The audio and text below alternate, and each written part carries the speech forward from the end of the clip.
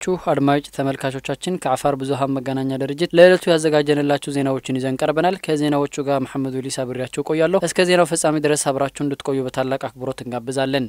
በሰመራ ዩኒቨርሲቲ የዩኒቨርሲቲ መግቢያ ፈተና ሲወስዱ የነበሩ የመጀመሪያ ዙር የማህበራዊ ሳይንስ ተፈታኞች ፈተናቸውን በሰላም አጠናቀው ወደ የአካባቢያቸው የመመለስ ስራ እየተከናወነ መሆኑን የአፋር ክልል ትምህርት ቢሮ አስታወቀ። ዝርዝሩን እንደሚከተለው ይቀርባል። በሰመራ ዩኒቨርሲቲ መግቢያ ፈተናቸውን ሲወስዱ የነበሩ የመጀመሪያ ዙር የማህበራዊ ሳይንስ ተፈታኞች ፈተናቸውን በሰላም አጠናቀው ወደ የአካባቢያቸው የመመለስ ስራ እየተከናወነ መሆኑን የአፋር ክልል ትምህርት ቢሮ አስታወቀ።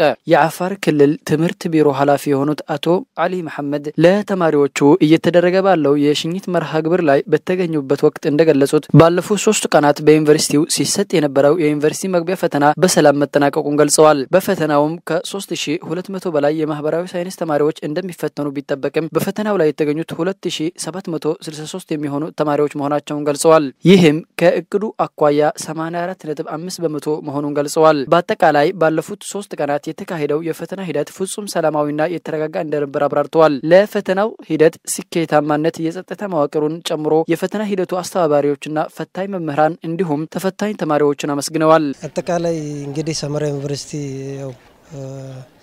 በጥሩ ሁኔታ ተማሪዎች ገብቶ በሰላማዊ መንገድ ፈተና ጨርሶ የመሸኘት ስራ ነው እየሰራን ያለ ነውና አጠቃላይ እንግዲህ አቅራቢያ አካባቢ ያሉ ወረዳዎች ዛሬ እየሸኘን ነው። በሚያስፈልገው መልኩ መኪኖች አምጥተን እንደ ክልል ከየሴክተር መስሪያ ቤት መኪኖች መጥቶ በመሸኘት ላይ እንገኛለን።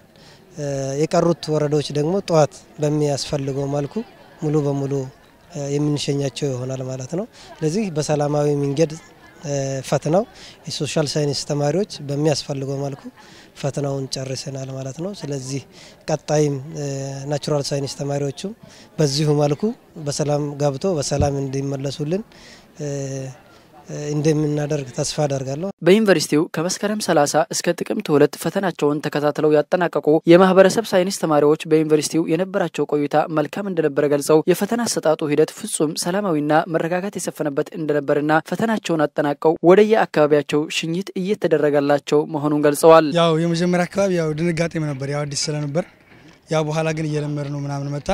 ያው ፈተናው ደግሞ በሁሉም ነገር ያው ምግቡም ሁሉም ነገር በሁሉም ነገር በአሪፍ ደረጃ ነው የተሰጠ ነው። ሁሉም ነገር የተረጋገጠ ነበረ። ያው ተመችቶ ነበር። እኛ ያው ግን ትንሽ ያው የአንዳንድ እንትን ችግሮች ይኖራሉ። ግን ያው መንግስት በሁሉም ነገር ያው አሻሽሎ ነበር ያቀረበልን። ያው አሁን ደግሞ ያው የመሄጃችን ሰዓት ደርሷል። ያው ዛሬ ያው እየተሰነባበት እንገኛለን። ያው አንደኛ ዩኒቨርሲቲ እንድናፍቅ ሆነናል። ያው ለመግባት ያለን ጉጉት በጣም ጨምሯል። ምክንያቱም ያው ዩኒቨርሲቲ ውስጥ ያለው ህይወትን ያው ለአንድ ሳምንት ቢሆን አይተነዋል። ቢሆንም በቃ አሁን ያለን ፍላጎት በጣም ነው የጨመረው ዩኒቨርሲቲ ለመግባት ማለት ነው።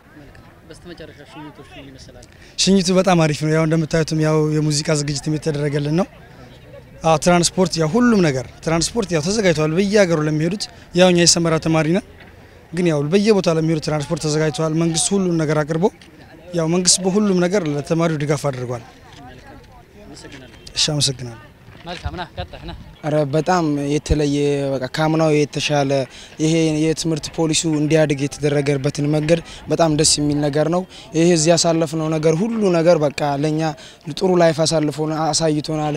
የተሻለ ነገር እንድናይ ሁሉ ነገር ዩኒቨርሲቲ ውስጥ ምን እንደሚፈጠር ዩኒቨርሲቲ ውስጥ አንዳንድ ነገር ያለውን ነገር ሁሉ ነገር እንድናጠናና በላይብረሪ ውስጥ ያሉትን መጽሐፍቶች ሁሉ ነገር እንድናይ ሁሉ ነገር ረድቶናል። በዚሁ ደስተኛ ነን እኛ ሁሉ ሁሉ ሁሉ ምንም ችግር የሌለበት ሁሉም ነገር ሁሉም ጥበቃ ምንም ምንም ችግር የሌለበት ሳይ ሁሉም ነገር ሳይሰረቅ ምንም እንደ በቃ ፈተናው እንደተጠበቀ ነገር ሆኖ ተጠናቋል። ፈተናው በጣም ደስ ይላል። ደስ በሚል ሁኔታ ጨርሰነዋል እና ከሀፊው ለአንድ ለሁለት ቀን በጣም ተቸግረን ነበረ። ከዛ በኋላ ተሻሽሎልን ቀርቦልናል እና ከዛ በኋላ ደህና ነው፣ አሪፍ ሆኖልናል። በጥሩ ሁኔታ ተስተናግደናል። ካፌ ላይ ደስታ ነው የተሰማኝ እኔ እንደሆነ። ሸኝቱ እንደምናየው በጣም ደስ በሚል ሁኔታ እየተሸኘን ነው። አቀባበላቸውም በጣም ደስ ብሎናል። በአግባቡም እየተስተናገድን ነው። የህግ አካልም እየጠበቀን በአግባቡ እንድንሄድ እያደረጉን ነው። በጣም ደስ ብሎኛል። በጣም አሪፍ ነው። ምንም ረበሻ ነገር አላየንም። ተማሪዎችም በጥሩ ሁኔታ ነው የተስተናገዱት። በጣም ደስ ይላል። በጣም አሪፍ ለእኔ ጥሩ ነው።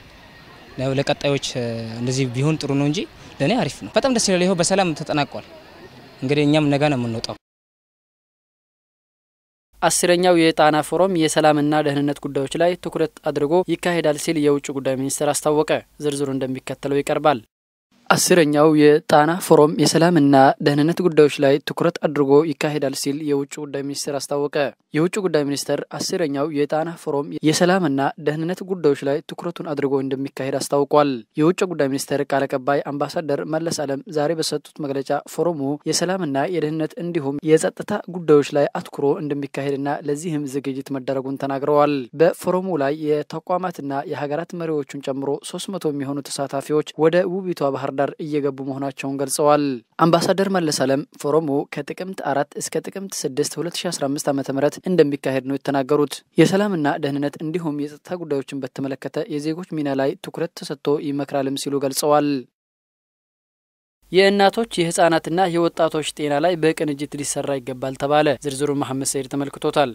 የእናቶች የህጻናትና የወጣቶች ጤና ዛሬም ቀዳሚ የትኩረት አቅጣጫ በመሆኑ ሁሉም አካላት በቅንጅት ሊሰሩበት እንደሚገባ ተገለጸ።